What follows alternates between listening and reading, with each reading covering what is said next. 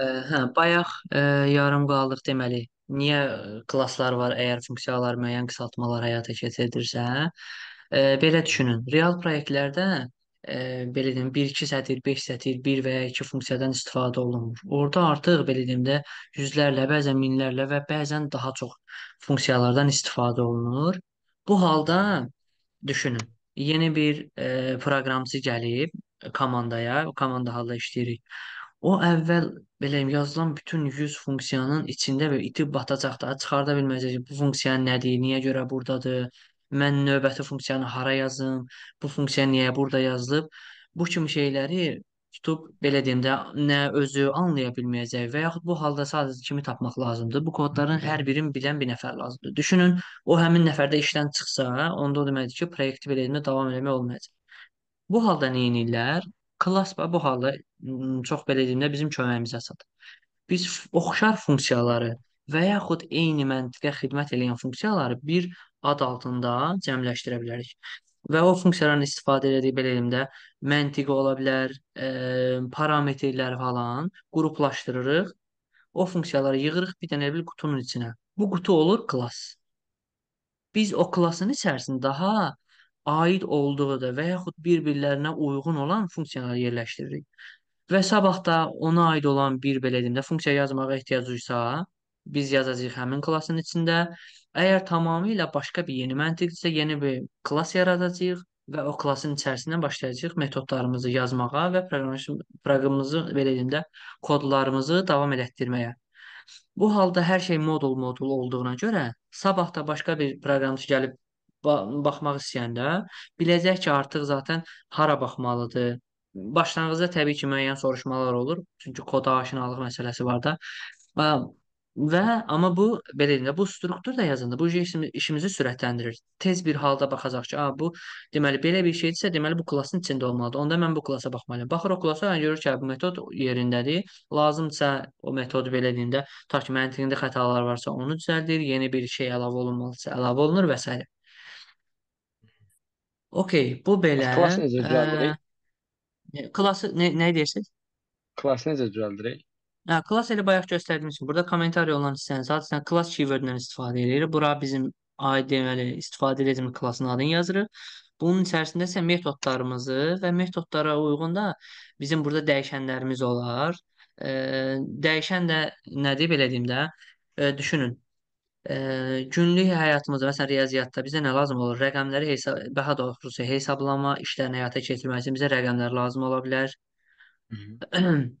hərflər üzərində tutaq ki, işləyə bilərik, nə bilim, e, simvollar toplaya bilərik və yaxud adları birləşdirərik. Bu halda bizə də yenə simvollar çoxluğu lazım ola bilər və s. və ilaxır. Ə, Məsələn, bir və klassın riyaziyyatda içini da Aha. məsələn indi biz bir klassın içini doldurub ha necə istifadə edirik onu göstərə bir bilərsiniz? klassın içərisinə belə deyim də yazmaq üçün ə, dəyişənlər və funksiyalar lazımdır. Amma onun izahını versəm, indi bu dəqiqə sizə çox aydın olmayacaq. Niyə görə? Çünki Hı. biz dəyişənləri, tipləri, dəyişənlərin e, də, elan olunmasının, funksiya və funksiyaların elan olunmasının bunlarla bağlı belə deyim informasiyamız yoxdur hələ ki. Sadə halda belə göstərə bilərəm ki, məsələn belə bir yazılış strukturu olur. Tutaq ki, int deyirik. Tutaq ki, ID deyə bilərik. Belə bir yazılış form, üzr istəyirəm, da klaviatura fərqlidir. Məsələn, belə bir yazılış. Bu dəyişənlərin elan olunmasıdır. Tutaq ki, bizə funksiya lazım ola bilər. Tutaq int tipində sum cəmləyən ə, int A və int B və B. Bu rəqəmlərin cəmləməsini həyata keçirən bir funksiyanı burada yaza bilərik. Daha sonra bu klassdan istifadə edib buradakı verilən həm dəyişənə, həm də metoda əlimiz çata bilir. Və bunu İndi bir yerdə buku yazırıq, digər yerlərdə. Necə? İndi buku necə istifadə edək? İndi bu-da istifadə eləməyimiz üçün e, belə deyim də instans deyirlər. Bundan e, obyekt yaratmamız lazımdır. Onun vasitəsilə. Məsələn, obyekti də bu formada yazırlar. E, belə yaza bilərik. Burada prosta bir şeyə nəzərə yetirmək lazımdır ki, bu çöldə əgər istifadə edəcəksə, bunlara access modifierlər deyə bir e, beləm də buradakı e, hissədə yazılan kodların əl yetərliliyində kənardan müdaxiləsin tənzimləyə bilərik. Bunun üçün bu həmin belə keywordlərdən istifadə edir. Belə deyim, bu əgər sadəcə klassın içində fəaliyyət göstərəcəksə, fərqli keyword, e, digər bir klass istifadə etmək istəyirsə, fərqli keyword falan bu kimi şeylərdən istifadə etməmiz lazımdır. Sadə halda da belə deyim, bu əgər klassın içərisində yazılan dəyişəni və ya metodu istifadə etmək istəyiriksə, bu klassdan belə deyim, e, bir dəyişən törətməmiz lazımdır. Necə ki, adi dəyişənlərdən belə bir tipdən daha doğrusu tipdən dəyişən törədirik və istifadə eləyirik.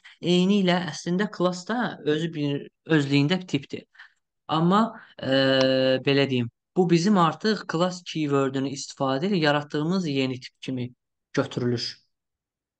Həm tipdir, həm də ki, belə deyim də, e, məqsədi, var olmasının səbəbi o modullaşdırmaya, içərisində müəyyən şeyləri komponentləşdirib konkret yerdə saxlamağa imkan verir.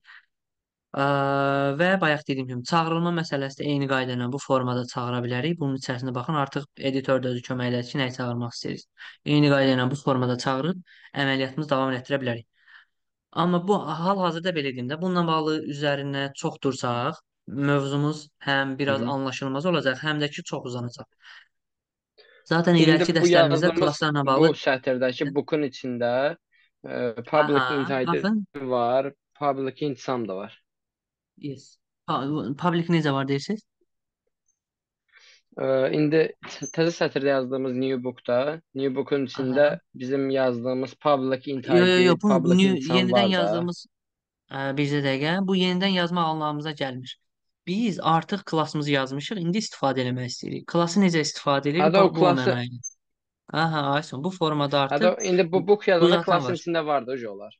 Ay sağ ol. Onu artıq işə salırıq da belə deyim. Hı Müraciət edirik ki, artıq bu funksiya işləsin və əməliyyat icra eləsin. Belə bir hı. parametrləri göndərməklə.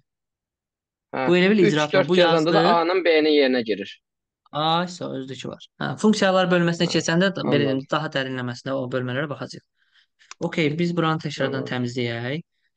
Ə, deməli biz nə göstərəcəkdik? Sadə halda bayaq dediyimiz kimi konsolla Ə, baxın bir də bir şey göstərər. Burada konsol yazdıq. Burada qoşa nöqtə ilə müxtəlif funksiyalar çıxır. Biz sadəcə write, write ilə nə, nəzər yetirdik. Bunun paralelində belə deyim də ekrana çıxarmaq üçün write metodumuz da olmalıdır. Hı hı. Aralarında nə fərq var? Belə deyim, ingilis dilindən zaten a, ə, Bəli, aşinalıqdan bəli. oxuya bilərsiniz ki, buradan konsol sözündən sonra yazılan write və write elenin nə fərqi var? Orada sadəcə line yeni bir sətrə keçmək mənasını verir.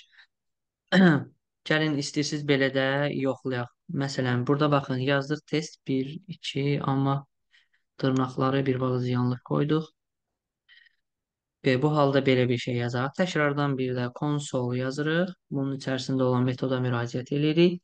Hə, bayaq dediyim kimi klasslara, klasslar içərisində olan metodlara biz bayaq necə müraciət edirik? Oxla və bir də nöqtə ilə də müraciət edə bilirik. Baxın, burada yazılan eyni məntiq. Bu klassın içərisində artıq bu metod, bu funksiya var. Və bunun kod məntiqi də, belə deyim də, işləmə xüsusiyyəti artıq e, Microsoft tərəfindən yazılıb. Bizim onu görməyimizə ehtiyac yoxdur. Sadəcə bizə nə deyir? Bu klass var artıq və bunun içərisindəki bu metodu çağıraraq o siz ona parametr göndərməklə işin icraatını görəcəksiniz. Necə ki, bayaq biz book, book klassı yaratdıq və onun metodlarını çağırıb əməliyyat icra elətdirmək istədik. Bu da eyni qayda ilə. Hə, bir saniyə burada da belə yazaq. Bunlar ə, indi də yazaq. Məsələn, belə bir random simvollar yazaq və çalışdıraq. Çalışdıranda bu kodların bitişik halda görməmiz lazımdır. Biraz gecikir konsol icra eləməyə. Niyə görə şey olur ki? Hə, baxın, bura baxın. Nə deyirsiniz? Test 1, test 1 200 FQQ. Bunları Hə, ayrı-ayrı bəs baxın birləşmiş halda. Aysa ayrı halda necə yazmaq bilərik? Bayaq dediyim o metod var idi. Write line yazsaq, hə, bir hər Hə, ikisində də belə fərqli yeni sətir. Anladım. Bunların elə bir əslində proqramlaşdırmada ingilis dili sizin burada çox köməyinizə yarayacaq. Hı -hı. Yazılan sözlər adətən də belə deyim. Yazılan sözlər bu sözlərin nə iş görəcəyin, nəyə xidmət elədiyin bir növü belə deyim də bildirmiş, açıqlamış olur. Write normalda nədir? Yəni bir şeyi yazmaq. Yazmaq. Konsol nədir? Konsol da zaten bizim gördüyümüz qara ekrandır. Hə, deməli hı. neyniyir bu? Konsoldakı o qara ekrana bir şeylər yazır. Hə, bir şeylər yazırsa onu necə yazırsın? Aa, deməli bura bir şeylər e, əlavə eləməklə, daxil eləməklə burada göndərilən şeyi ora yazacaq. Line, write line də eyni qaydadır. Bəs Yəni birinə biz right yaz, birinə right line yazsa nə olur? yəni gözləyin elə eyni qaydanı yazaq. Gəlin ayırmaq üçün belə eləyək. Bura AA yazağın, buradan da baxın B, a, sorry. Nasıl baş ver. BB yazalım. Baxın bunlar birləşik çıxdı. Niyə? Çünki burada yazılan write elin özündən sonraya atır new line, yeni sətr yəni. İndi qısa halda bax, baxın bunlarda yer dəyişmə eləsək, bunu kopyalayıb bura atsaq, indi bunların ayrılmış halını görəcəyik. Hə, özündən sonra Baxın gördünüz? atır. Anladım. Hə. Bu elə Özündən bir sonra metod belədir də. Özündən verdiyin, göndərdiyimiz parametrləri ekrana çıxarır və boşluq atır. Belə bir belə enterdə düşünün. Anladım. Okey, indi bir dənə də, hə, bir dənə də nəyi göstərəcəkdim? Bayaq ə, daha əvvəldə vurğuladım. Ə, gəlin daha doğrusu belə eləyək. İndi biz baxın konsol yazmışıq, düzdür? Hı Bura hı. çıxardaq. Biz salam dünya. Bu halda normalda çalışdırdı. Düzdür, düzdürmü? İndi salam dünyanı çıxaracağıq ekrana. Ə, göstərmək istədiyim odur ki, biz bu proqramı digər versiya ilə də run edə bilərik. Bunun üçün gedirik bura. Buradakı bayaq belə deyim də Bu düymələrin üzərinə çox vurmayacaq. Mausun sağ düyməsini vuranda belə bir kontekst menyu açılır. Müəyyən əməliyyatları icra etmək. Bunlardan biri də bizim e, yazdığımız kodlar, faylların yerləşdiyi qovluğu açmaqdır. Bunu açsaq, burada bizi baxın, folderlər qarşılayır. Bin və OBJ. Bin folderi nədir? Biz kodumuzu kompilyasiya eləyəndə və yaxud bu düyməyə vuranda arxa tərəfdə əməliyyat gedir. Bizim kodumuz elə bil kompilyasiya olunur və yığılır bax bu folderin içinə. Burada biz bax debug və release modlarını istifadə eləyirik, ha, yadınızdadırsa. Eyni ilə o, belə deyim də, seçdiklərimizə uyğun folderlarda yaradır, həmin kodları ora atır. Baxın, burada da görəcəksiniz versiyanı görəcəksiniz .NET 8-dən işlədiyimizə görə və burada bir-iki dənə kod görürsünüz. DLL və exe. Exe Windows, belə deyim də, mühitindən bildiyiniz kimi çalışdırıla bilən fayldır. Bunun üzərinə biz belə deyim, iki dəfə toxunuşla konsol ekranı açılıb yığıldığını görürük. Amma konsol ekran dayanmır bu halda açılanda. Onun dayandırması üçün nə edə bilərik? Təkrardan biz belə deyim. Bu folderdən çıxaq. Çünki əməliyyat icra olunacaq. Biz o folderdə olmayaq.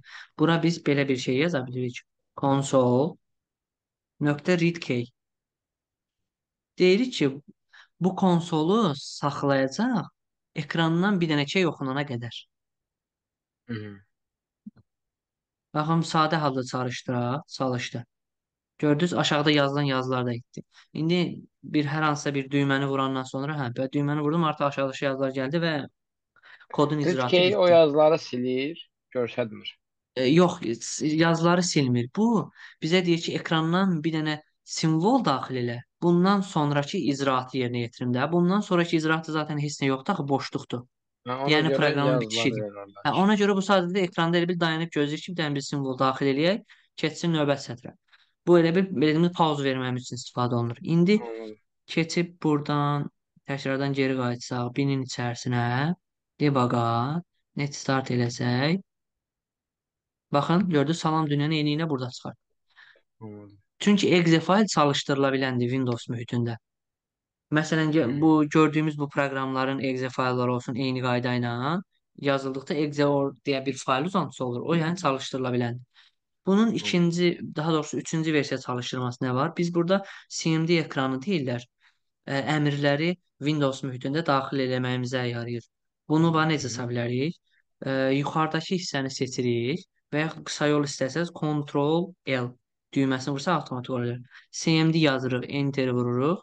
Burada baxın belə bir ekran açılır. Burada həmin bu faylın, exe faylın adını istifadə edərək çalışdıra bilərik. Baxın gördünüz, Salam Dünya burada çıxır. Yəni belə bil ki, belə düşünün də. Tutaq ki, sizin əlinizdə kod nümunəsi var, amma editorunuz yoxdur, kodu çalışdırmaq istəyirsiniz. Bu halda e, bu iki xüsusiyyəti də yadınızda saxlasaz, üzərinə klik eləməklə və yaxud da bayaq dediyim kimi də CMD ilə də belə həmin kodu çalışdıra bilərsiniz. Anladım. Hətta CMD ilə ora parametr də ötürə bilərsiniz. Gəlin elə vaxtımız biraz da ona da sərf eləyək. Onun üçün nə etmək lazımdır? Biz bayaq dedik ya, 5-ci versiyada main funksiyası lazım idi. Onun əsas məqsədi düzdür, proqramın başlama nöqtəsini göstərmək idi. Bir də ikinci funksiyası var onun. Kənardan biz ona bir şeylər göndərə bilərik. O da nədir? Məsələn, başlayaq indi əvvəlki hal necə yazılırdı? Bura using yazırdıq. Using nədir? Bizim özümüzün də belə Bir deyim, dəqiqə modul klasslarımızı istəyirəm biraz bölürəm. Bir də 2 dəqiqə bir dənə mesaj yaza bilərəm. Sözlürsən. Hə, tamam. Onda bircə dəqiqə mən videonu da saxladım. Hə, siz davam edin. Təkrardan video başlayaq. Hə, e, bayaq burada deyəsən səhvləmirəmsə, hə, using nəyə yarayırdı? Biz belə deyim də, klasslarımızı modullaşdırıb, e, daha doğrusu klasslarımızı da belə deyim, bir adı altında əslində birləşdirə bilirik. Onlara namespace deyirlər. O namespace belə deyim, o klassları e, yox, biraz qarışıq oldu. Belə deyim, bizim ba bayaq dediyimiz funksiyalar var idi. Getdikcə, say artdıqca çoxalır. Klasslarımızda eyni məntiqlə çoxaldıqca onları da yenə bir adı altında birləşdirmək lazım olur. Bunun üçün biz namespace-lərdən istifadə edirik. O elə bil ki, belə deyim də, klassları əhatə edir. Bir neçə klassın toplusuna verilən bir ad. Hə, əgər elə bir ad verəndə o topluya artıq biz onu həmin elə bir klasslarda burada istifadə eləmək istəsək, o halda using açar sözü ilə həmin e, namespace-i bura qoşmamız lazımdır. Həmin o klass topluluğuna verilən adı. İndi hazır Klass olanları da biz belə qoşa çox böyük bilərik. şey olur da. Necə? Klass topluluğu artıq çox böyük bir şey olur da. Məntiqən. Hə, indi belə deyim də, indi yazılış məqsədi 3 olar, 5 olar və daha çox. Yəni bunun limiti yoxdur ki, yəni 5-dən olmalıdır, 10-dan olmalıdır və təbii ki, çox olacaq. Yəni və o da ki, proyektdən Anladım. asılıdır da belə deyim. Hə, var olan belə deyim Hı. sistem e, namespace var. Biz onu qoşuruq aşağıda yazacağımız əməliyyatlara görə və başlayırıq burada nə etməyə. Özümüz də buna bir namespace adı veririk. Tutaq ki, lesson 1 olsun. Bu arada namespace-in altında e, önəmli deyil ki, daha doğrusu mütləq deyil ki, biz klass yazaq. Funksiyanın özünü də yaza bilərik. E, Hı hı. amma belə deyim, ardıcıllığa görə klass yazmağımız belə daha doğrusu önərilir. İndi e, bu belə deyim də skopkalar nə işə yarır onu deyim. Biz e, kodumuzun daha doğrusu bu skopkalara, mötərizələrə blok ad olaraq deyilir. Başlamanı və bitməni göstərir. Elə bil ki, belə düşünün də, bu namespace-in sərhədləridir bu. Burada başlayır və burada Anladım. bitir. Məsəl üçün, bayaq biz klass da yazdıq. Düzdürmü? Hı hı. Tutaq ki, ba- bayaq belə bir klass yazaq. Eyni qayda ilə blok orada da açıldı. E, Bu və bunun içərisində blokudur. Ağac example kl- klassının blokudur. Başlamasını və bitişini göstərir. İndi bunun içərisində biz yazmalıyıq belə bir statik, heç bir tip geri qaytarmadığımızı göstərir bu void və main adı mütləq bu şəkildə yazılır və artıq baxın burada bizə editorda öz önərdi ki, dedi bu yazılış stilin yazsaz yaxşı olar. Tab düyməsini basanda həmin önəri gəlir. Ə, və buradakı baxın Arregis nə işə yarayacaq? Birazdan göstərəcəm sizə. Sadə halda biz yenə də console rahatlayımızı istifadə edib ə, salam dünya yaz yaza bilərik. Ə, və bu halda da gəlin kodumuzu heç bir dəyişiklik olmadan çalışdıraq və nəticəni ekranda görək. Salam dünya yazısı çıxdı. Okay, burada heç bir problem yoxdur. Hı. Ə, eyni qayda ilə biz təkrardan ə, readkey yazaq ki, çünki digər üsulla da çalışdıracağıq bunu. Ə, orada lazım olacaq belə. Okey, indi baxın burada belə bir şey var. Salam dünya qoyub nöqtə qoyuruq və buradan vergül qoyudansa arg 0 deyə belə bir şey yazırıq. Hı hı. Bu halda biz əslində buradakı situasiyadan görməcək xəta alacağıq. Çünki deyir ki, arg boşda mən onu necə çıxartmağa verim? Yəni elə bil ki, düşünün. Hı. He, içində heç bir şey yoxdur. Onu e, çıxışa vermək istəyirsə bunu mənə göstərin. O halda da editor bizə xəta verir. Amma okey, buradan Anladım. biz bunu saxlayırıq. Keçirik, qaydırıq həmin belə deyim, buranı gəlin bağlayaq, təkrardan başa qaydaq. Açırıq belə deyim, folderimizi. Buradan gəlirik bin folderinə, debug və. .NET 8. Və buradan açırıq CMD ekranımızı eyni qayda ilə. Ctrl L vurduq, CMD yazıb açdıq. İndi gəlirik biz ə, bir saniyə. Bunun adı nə idi? Exemizin adını kopyalayırıq. Üzr konsol ekranları qarışdırdım. Hə, bu açıq olmalı idi. Biraz bunu istəyirsiniz gəlin tam ekran yazaq. Yazdıq bura belə bir şey. İndi buradan hı. belə bir şey yazırıq. Məsələn, demo 1 2 3 və enteri vururuq. Hı. Bir, sa- bu, bir saniyə bu çıxması lazım idi bunun. Ə, deyəsən səhv eləmirəmsə yazılış strukturunda belə olmalıydı. Hə, yox, belə deyil. Bircə dəqiqə. Arqument olaraq ötürəndə orada çıxması lazımdır bunun. Çünki birinci arqumentdə bu yer alır. Bir dənə də belə üsul var start eləmənin. Yox, bircə dəqiqə nəsə gözləyin. Aa, bir saniyə, bir saniyə. Bu yazılış strukturunda yanlış eləmişim. Burada üstəgəlin olması lazım idi. Bircə dəqiqə təkrardan run eləyək. Xətamızı alacağıq, o normaldır. Qayıdaq təkrardan CMD ekranımızı bağlayaq. Eyni qayda ilə. Hə, eyni qayda ilə təkrardan açaq biz folderimizi. folder. Hə, bin, debug və .NET SMD. və buradan CMD-ni açırıq. Bayaq səhv eləmiş kopyalamışdıq. Exe faylımızın adını bir dənə də tam ekran eləyək ki, görə bilək. Ə, buradan məsələn demo 1 2 3 daxil eləyək və burada artıq görəcəyik. Baxın, demo 2 bura çıxdı. Hmm, anladım. İndi qayıdaq koda. Baxın, burada yazılan argz o deməkdir ki, biz bu kodumuzu Argument. kənardan CMD əmrindən çağıranda və burada ona bir şeylər ötürə bilərik. Məlumatları elə bil kənardan ötürə bilərik də biz proqramımıza. Biz elə Anladım. bir müəyyən səbəblərdən tutaq ki, belə bir ehtiyac ola bilər ki, bu Excel-i çalışdır, bunun içərisində tutaq da keyword və yaxud nəsə security belə bir şey göndər və o security-yi alsın, əməliyyat davam eləsin. Artıq məsələn zaten ki, argument Excel sözünün faylını. qısaldılmasıdır. Aha, O da bəli, bəli, argument bəli. argumentlər əlavə eləsin deyə bir Aha, şeydir. çox doğru. Bəli. Elə bu söz də oradan gəlir. Və burada yazılan string də bunun tipini göstərir. Burada yazılan bu his, bu sa. Bunun bir dənə yox, normalda string yazanda, bunu yazmayanda bu sadəcə bir dənə şeyi ifadə edir. də, Yəni bir dənə daxil edə bilərik. Buradakı arqa isə bunun çoxlu belə deyim də, məlumat daxil edə biləcəyimiz anlamına gəlir. Məsələn, burada yazılan demo sözü boşluq qoyub davam edə bilərik. Anladım.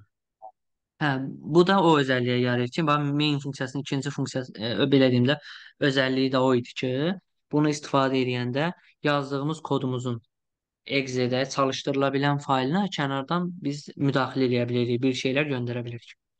Hı -hı. Hə, okey. Belə.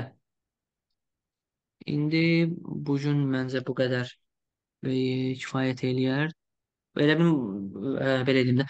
Bununla bağlı nəsə belə sualınız və ya qaranlıq qalan bir, bir şey Aydın varmı? Okey. Onda bir saniye.